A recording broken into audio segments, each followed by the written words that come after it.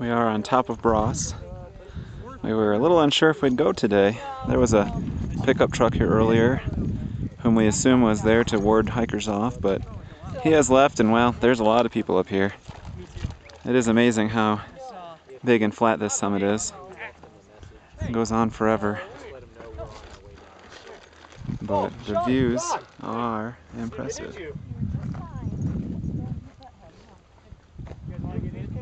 This is looking over to Quandary and Lincoln. And Cameron. There's Democrat with Luke on his way down. Over here we do have pretty much the bulk of the Sawatch Range spanning all the way across.